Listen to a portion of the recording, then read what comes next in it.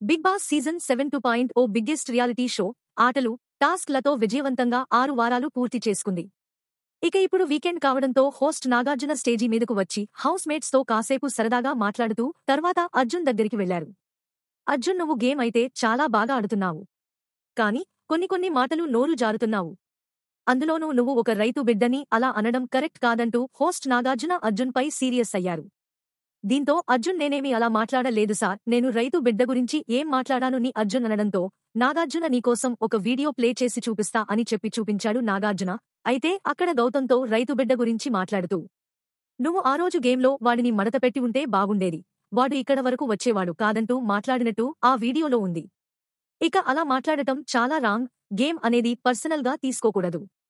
అర్జున్ నువ్వు అంత పెద్ద నటుడివి. ఇది కూడా మర్చిపోతే ఎలా? అంటూ నాగార్జున అర్జున్తో అనగా ఏదో నార్మల్గా మాట్లాడాను సార్ అని కవర్ చేయబోయాడు. కానీ నాగార్జున మీరు గేమ్స్ గురించి మాట్లాడుకోండి లేదా ఇంకేమైనా మాట్లాడుకోండి. అంతేకాని ఒక మనిషి పర్సనల్ గురించి అలాగే ఒక మనిషి వెనకాల మాట్లాడటం అనేది చాలా తప్పు అంటూ సీరియస్ అయ్యారు. అంతేకాదు ఒక రైతు బిడ్డ ఇంట్లో కెప్టెన్ అవ్వడం ఎవరికీ నచ్చలేదు. అయినా సరే తను కష్టపడి గేమ్ ఆడి కెప్టెన్సీ గెలుచుకున్నాడు. ఇక నుంచి మీరు ఎవరిని అలా కించపరిచి మాట్లాడొద్దు అంటూ నాగార్జున అర్జున్కి ఇచ్చిపడేశారు.